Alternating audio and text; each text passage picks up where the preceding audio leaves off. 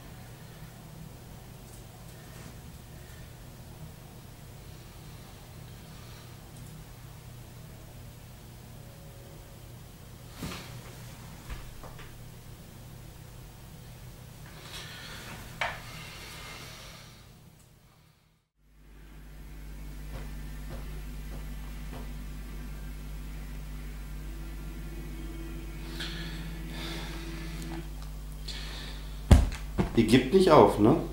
Das ist der Wahnsinn. Ihr wollt unbedingt, dass ich diese komischen Fragen da beantworte, ne? Äh, na gut, aber nur weil ihr seid. Ne? Also Hintergrund hinter diesen Fragen ist, erstmal schon mal danke dafür, dass ihr mir das eingebrockt habt, ist, ich wurde von Herrn Firefox und der guten Luna Loxley, die werde ich beide unten in der Videobeschreibung verlinken, nominiert um einen Fragenkatalog abzuarbeiten, und zwar den Ja oder Ja. 14 plus 6 Fragen. Und ähm, ja, so wie es aussieht, werde ich mich dem wohl stellen müssen. Lange Rede, kurzer Sinn. Ich habe euch hier in mein Büro eingeladen. Also das ist auch quasi die Couch, auf die ich immer auf, auf die ich immer, auf der ich immer aufnehme. Und ähm, ja, Legen wir mal los. Erste Frage ist, PC oder Konsole? Ja, also erstmal die Antwort PC. Konsole, ich hatte hier und da mal eine. Ich hatte mal einen Gameboy, als ich nur jünger war. Ich hatte mal, ähm, äh, meine, also meine erste richtige Konsole war das Nintendo 64 und äh, zuletzt hatte ich mal eine Wii. Und ähm, aber die Wii ist leider relativ schnell im Keller verschwunden. Ja, meine PC-Geschichte ist ein bisschen länger als die Konsolengeschichte. Und zwar ähm, habe ich damals mit dem C64 angefangen und ähm, habe über Amiga 500, Amiga 1200 ähm, bin ich dann irgendwann quasi auch zum PC gekommen und dann halt diese typischen Abstufungen, die es früher gab, mit 486 etc. Äh, immer weiter. Ich weiß aber auch gar nicht mehr, wie viele PCs ich jetzt genau hatte. Ähm, müsste ich jetzt echt, keine Ahnung, kann ich nicht nachvollziehen. Ich, hab, ich weiß es nicht. Ähm, ja, also definitiv PCler. Zweite Frage. Ähm, COD oder BF3? COD oder BF3, ich habe COD immer nur ähm, relativ sporadisch gespielt.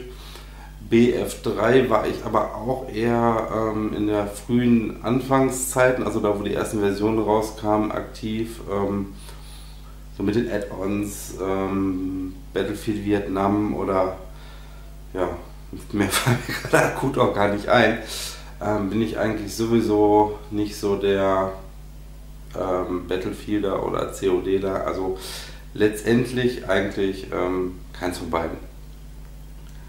Headset oder Großmembran? Also momentan, wo habe ich es denn? Benutze ich ja dieses schicke Teilchen.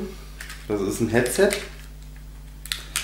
Liegt aber auch daran, dass ich ja noch nicht so lange dabei bin und ähm, ich erstmal überhaupt was haben wollte, womit ich einigermaßen vernünftig aus, äh, aufnehme. Das auch nicht so einigermaßen teuer war. Und da ich sowieso Kopfhörer brauchte, ähm, habe ich mich erstmal für ein Headset entschieden. Ähm, aber tendenziell geht es für mich dahin, dass ich wahrscheinlich auch auf Großmembran umsteigen werde. Ähm, wann, weiß ich noch nicht. Ähm, das werde ich dann letztendlich, glaube ich, spontan entscheiden. Also ähm, Headset oder Großmembran.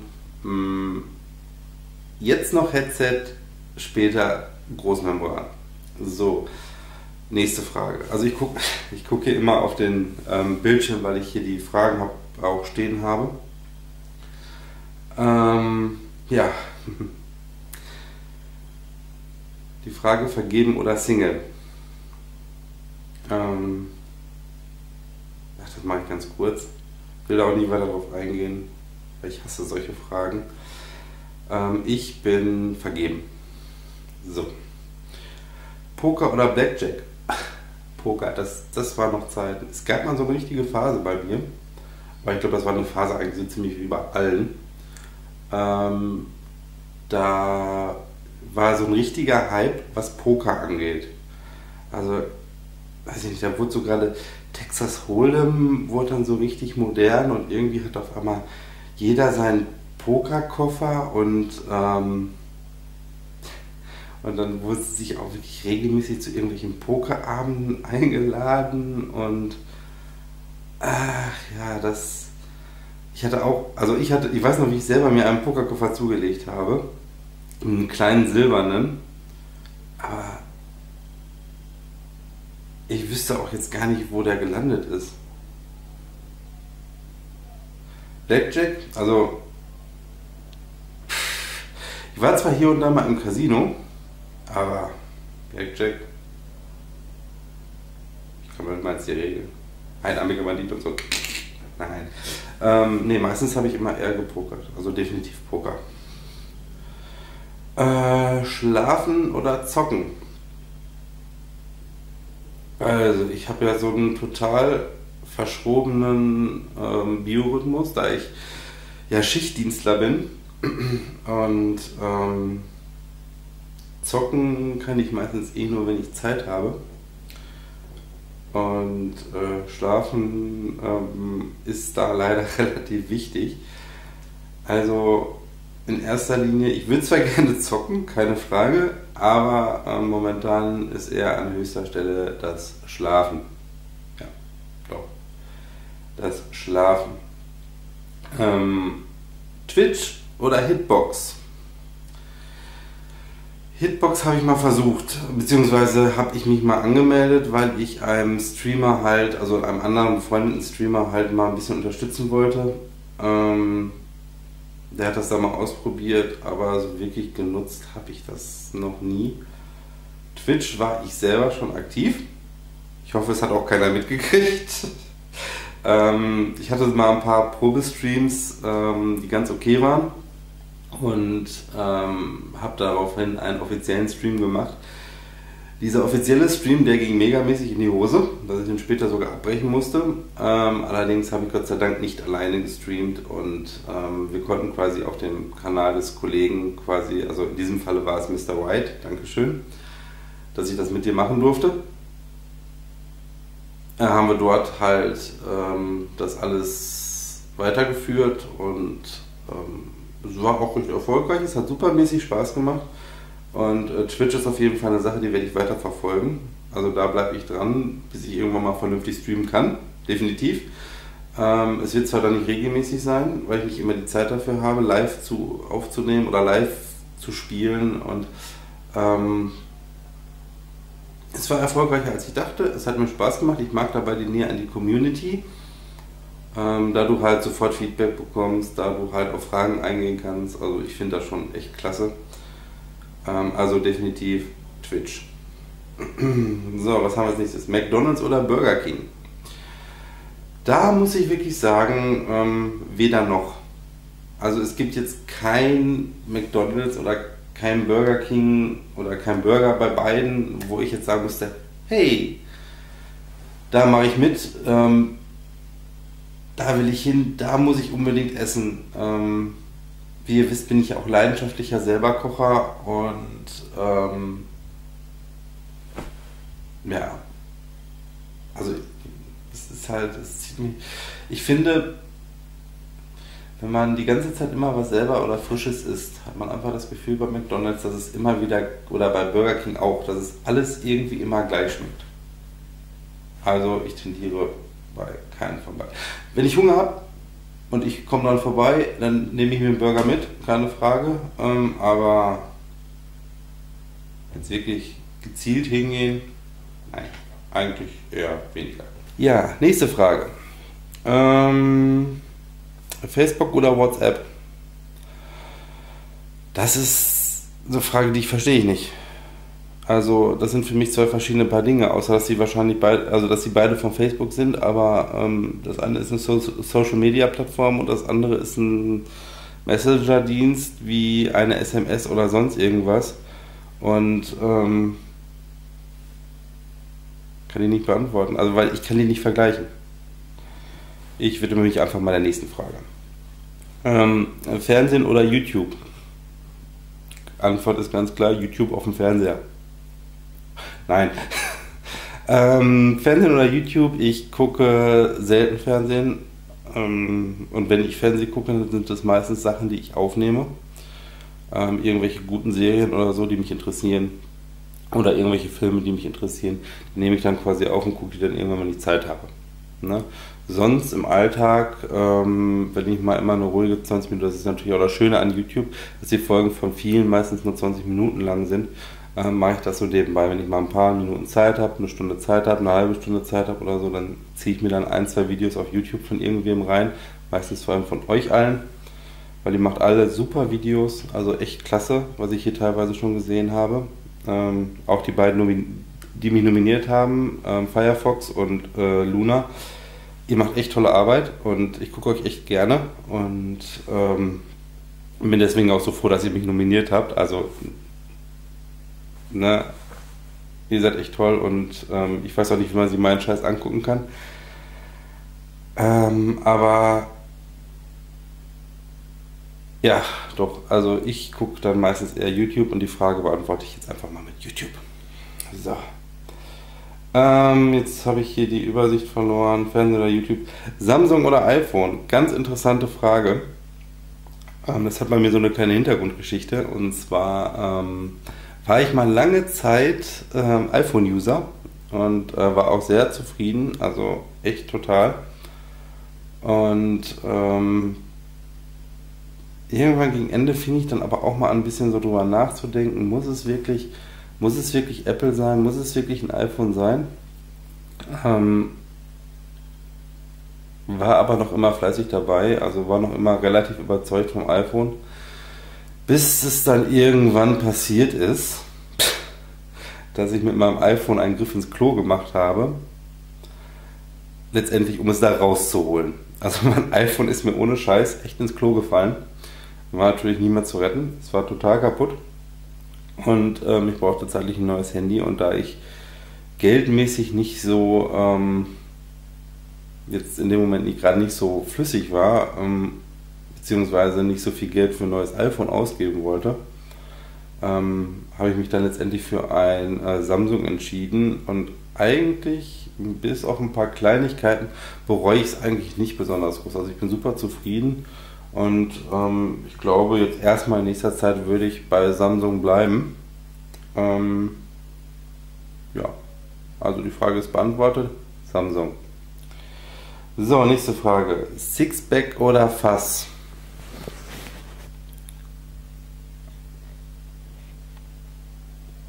Hm, ich würde sagen Fass. Nächste Frage.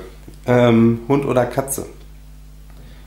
Ähm, also ich persönlich bin eher der Hundefan. Ich habe zwar selber jetzt kein Haustier, aber ich finde Hunde sind viel besser. Die kann, mit denen kann man was machen, die kann man ein bisschen anfassen, ähm, denen kann man was beibringen, die wirken treuer, die haben nicht so ihren eigenen Kopf und ähm, abgesehen davon, dass Hunde eigentlich meistens immer ganz gerne stinken, bin ich doch eher der Hundefreund. Also nicht viel Katzen, sondern eher Hunde. Obwohl ich den Katzen eigentlich so prinzipiell auch nichts einzuwenden hätte. Deutscher oder englischer Rap? Ja, Rap ist sowieso nicht so meine Sparte. Ich bin eher so. Also mein Musikgeschmack ist eher durchwachsen. Aber Rap gehört eigentlich nicht wirklich dazu. Ähm, wenn ich mich jetzt zwischen deutscher und englischer Musik momentan entscheiden könnte, ähm, bin ich momentan eher auf den Deutsch, Deutsch-Trip. Also ich finde momentan deutsche Musik eigentlich sehr angenehm, macht Spaß, hört sich gut, also lässt sich momentan ganz gut anhören, hat die letzte Zeit einen ziemlichen Schritt nach vorne gemacht. Und also damit meine ich jetzt aber nicht Schlager. Ne, also bitte jetzt nicht falsch verstehen. Aber ähm, Deutschpop oder so ähm, höre ich momentan ziemlich gerne. Also Deutsch. So, ach, guck mal. Da sind wir schon bei den Bonusfragen. Eieiei. Hoffentlich seid ihr noch da. Gut. Ähm, Bonusfragen. Ja. Also bei der nächsten Frage weiß ich nicht, äh, was das über mich aussagen soll oder überhaupt über irgendwen. Ähm, Deo-Roller oder Deo-Spray? Ah, ja. Also ich bin der Sprayer. Also ich benutze Deo-Spray, ähm, weil ich finde, das Ding ist einfach praktischer. Du kannst mal eben pss, pss, pss, unter dem T-Shirt und alles ist gut. Und Deo-Roller ist so umständlich zum Anwenden. Obwohl das auch schon wieder Klagen auf hohem Niveau ist. Also das ist einfach nur eine reine, reine Vorliebe. Ich glaube bei allem. Also ja, meine Frage beantwortet sich mit Sprayer. Manga oder Comics? Ähm, also momentan gar nichts. Ähm, akt, also aktiv. Ähm, früher mal beides. Also ich habe lange Zeit Comics gesammelt früher, also echt lange. Und ähm, später hatte ich auch so eine Phase, wo ich Mangas gesammelt habe. Aber ähm, ich habe auch hier und da eine Manga-Serie, die ich ähm, auch voll habe. Aber äh, so wirklich momentan vor allem. Also es ist beides eingeschlafen. Also eine Sammlerleidenschaft in der Richtung habe ich nicht mehr. Ähm, aber wenn ich mich heute jetzt entscheiden müsste, also quasi wenn jetzt jemand kommen würde, mit der Pistole an die Schläfe halten würde und sagen, du sammelst jetzt irgendwas, ähm, würde ich zu Comics tendieren doch ziemlich sicher Comics. Tag oder Nacht? Also in erster Linie von reiner Natur aus bin ich ein Nachtmensch. Also ich bin gerne nachts wach, weil es dann meistens auch ein bisschen ruhiger ist und ähm, man da mehr, äh, mehr die, also auch mehr die Ruhe findet, um irgendwelche Sachen zu erledigen. Ähm, da ich momentan ja, wie gesagt, vorhin schon im Schichtdienst bin, ist das sowieso egal, ob es teilweise Tag oder Nacht ist. Ähm, mein Biorhythmus ist total verschoben, ähm, da ich aber momentan ähm, dadurch, dass ich nachts dann eher meistens arbeite ähm, oder ich aufnehme, ob Tag oder Nacht ist, ist es scheißegal ist, oder momentan meistens sogar eher tagsüber aufnehme, wie mir aufgefallen ist, würde ich momentan eigentlich eher den Tag vorziehen. Also momentan bin ich eher der Tagaktive. Ja, doch, tagaktiv. Kannst du einen Haken bei Tag machen. Okay. Baden oder duschen? Also, ich glaube, wie man gerade gehört hat, bin ich da eher so der, Leu der Mensch, der auch eher mal die Ruhe genießt und auch mal gerne versucht, die Mitte zu finden oder seine eigene Mitte zu finden. Und ähm, in dem Falle tendiere ich da eher zum Baden ähm, weil äh, da habe ich einfach die Ruhe, da kann ich mir auch mal mein Handy nehmen, kann äh, eure YouTube-Videos gucken zum Beispiel oder auch mal ein gutes Buch in der Badewanne lesen und da habe ich meine Ruhe. Dazu noch ein schöner Badezusatz und es wird total angenehm. Also ich persönlich bade gerne. Also baden. Äh, Sommer oder Winter? Win Winter. Sommer oder Winter. Ähm, hat beides seine Vor- und Nachteile. Sommer ist geil, keine Frage. Ähm, muss sich nicht so dick anziehen. Es ist schön warm, man friert nicht. Ähm, Ähm, man kann Eis essen draußen, schönes Wetter, die Sonne ist toll, man ist besser drauf. Ähm, nicht so schwer anzuziehen, demzufolge ähm, kann man auch teilweise mehr sehen. Ähm, aber nein, ähm, der Winter äh, finde ich an sich wunderschön. Also wenn es schneit und so, ist es echt schön. Ähm, man muss sich zwar dicker anziehen, was aber auch nicht unbedingt ein Vorteil ist. Man kann auch mal andere Klamotten ausprobieren, die man ganz gerne trägt. Ähm, ähm, ansonsten die Zeit, die, äh, die äh, der Winter mitbringt, wie Weihnachten oder auch Weihnachtsmärkte und so, finde ich sehr schön. Ähm, es ist diese ruhige Ruhe in der Nacht ähm, im Winter, finde ich total herrlich. Ähm, Schnee, Schnee ist ganz toll. Also ähm, ich liebe Schnee. Äh, Schnee sieht super geil aus. Äh, ich mag Schneespaziergänge. Ich mag dieses Knacken unter den Füßen. Ähm, also von Schnee bin ich total begeistert.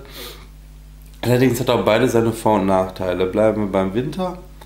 Ähm, Im Alltag ist er scheiße. Also so sehr ich den Schnee auch liebe, im Alltag ist der Mist. Also wenn du darauf angewiesen bist, von A nach B zu kommen und es schneit wie Hulle, ist es eine Katastrophe. Ne? Ähm, morgens früh aufstehen, zur Arbeit fahren und es ist draußen klirrend kalt, ist Kacke. also mag ich absolut nicht. Ähm, also Winter, wenn ich frei habe, liebend gerne kann er kommen, aber ähm, im Alltag ist das echt Banane. Also am besten Winter und Schnee echt super im Urlaub oder zum Urlaub machen. Ähm, Sommer ungefähr genauso. Ähm, in der Freizeit total geil. Ähm, Im Alltag eher hinderlich. Also wenn es so richtig knacken warm ist, diese ganze Schwitzerei ist total ätzend. Ähm, man stinkt, ähm, man fühlt sich teilweise schlapp, weil es so warm ist. Man hat auf nichts wirklich Bock, man will nur so vor sich hin vegetieren. Ähm, wenn du körperlich arbeitest, wirst du das verfluchen, wenn es richtig warm ist und du hast keine Klimaanlage, ähm, weil du wirklich nur noch am Auslaufen bist und das senkt quasi auch irgendwo die Motivation. Ähm, selbst aufnehmen ist so eine Sache im, äh, im Sommer. Ähm, der Rechner ist warm, es ist warm, die Wohnung ist warm ähm, du schwitzt und ähm, es ist so echt doof. Nachts kann man nicht vernünftig schlafen, weil alles so warm ist. Ähm, also es hat seine Vor- und Nachteile. Ne, richtig tendieren. Ich gehe mal, da, geh mal danach, wo ich mich dann im Jahr am meisten drauf freue, im Sommer, weil ich dann meistens im Sommer in Urlaub fahre, ähm, tendiere ich jetzt erstmal zum Sommer. Aber es hält sich so ungefähr die Waage. So, letzte Frage. Batman oder Spider-Man? Ja, ich habe ja gerade schon gesagt, dass ich früher sehr viel Comics gesammelt habe. Und ähm, diese Comics waren hauptsächlich Spider-Man-Comics. Ja, ich war früher ein richtiger Spider-Man-Fan. Ich finde ihn jetzt noch klasse. Ähm, da ich einfach die Ecken und Kanten von Peter Parker so mochte. Ich mochte einfach das in diesem Falle ähm, nicht Spider-Man Peter Parker ist, sondern man wirklich dieser Mensch Spider-Man versucht, äh, dieser Mensch Peter Parker versucht Spider-Man zu sein. Und versucht halt seine Probleme im alltäglichen Leben irgendwie mit Spider-Man zu vereinbaren. Und das finde ich total klasse. Also das ist so das, was mich bei Spider-Man so antönt, ähm, dieses Menschliche dahinter. Ähm, Batman ist eine coole Sau, gar keine Frage. Und wenn ich auch irgendwen vom, äh, vom DC-Universum irgendwie ähm, favorisieren würde, wäre es Batman. Äh, allerdings ist und bleibt Batman trotzdem, wie ich es bei DC eigentlich nicht so mag, so ein Glanz und Glamour hält. Ähm, es ist ein Millionär, der eigentlich keine Probleme hat, sich voll und ganz auf Batman konzentrieren kann und ähm, quasi aber nur in seinem Batman-Universum er die Probleme hat.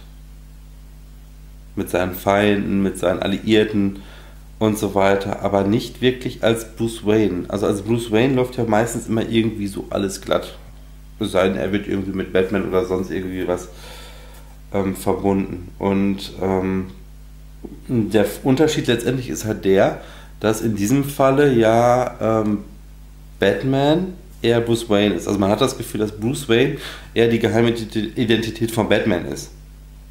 Und das ist so, da fehlt mir irgendwie so ein bisschen das eigentliche Menschliche. Es geht zwar viel auf die Psyche, ne? wenn man Batman guckt oder liest oder was irgendwie, oder wenn man sich mit dem auseinandersetzt.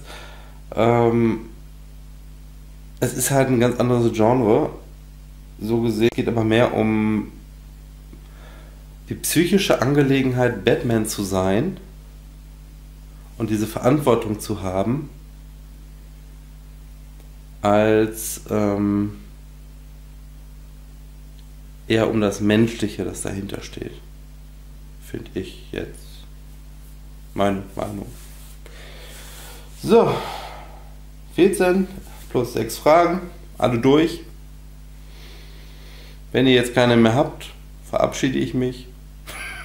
Nein, also nochmal, ähm, auch wenn es sich am Anfang angehört, anders angehört hat, ähm, ich danke euch trotzdem, dass ihr mich nominiert habt. Es ist mir eine große Ehre, gerade von euch beiden, ähm, weil ich euch selber wirklich auch sehr toll finde. Und ähm, ich werde eure Kanäle nochmal unten verlinken. Und ähm, ich bin jetzt so weit, dass ich jetzt auch welche nominieren muss. Ähm, da werde ich mir noch Gedanken drüber machen ähm, weil so einfach ist es nicht, weil viele von euch schon nominiert wurden. Ähm, aber äh, ich werde das schon irgendwie hinkriegen. Ähm, wer nominiert ist, werde ich auch unten in die Videobeschreibung reinschreiben. Und ich werde euch auch, denke ich mal, antwittern, dass ihr auch Bescheid wisst. Nicht, dass ihr es irgendwie verpasst oder so. Weil wenn ihr da durch müsst, äh, wenn ich da, wenn ich da durch muss, wollte ich sagen, ähm, müsst ihr das auch. Also, ich hoffe, es hat euch einigermaßen gefallen. Ähm, ich bin mal gespannt, ob da irgendwann nochmal so eine Aktion kommt. Ähm, prinzipiell finde ich es ganz lustig. Das fördert mal so ein bisschen die Kreativität. Ansonsten ähm, würde ich mich freuen, wenn ihr euch meine Videos weiter angucken wollt, äh, würdet, äh, ihr Spaß dabei habt, ich euch auch öfter mal wieder bei Twitter sehe. Ähm, und ansonsten ähm, wünsche ich euch noch einen schönen Tag, schönen Abend oder welche Tageszeit ihr gleich habt und ich sag mal, bis zum nächsten Mal.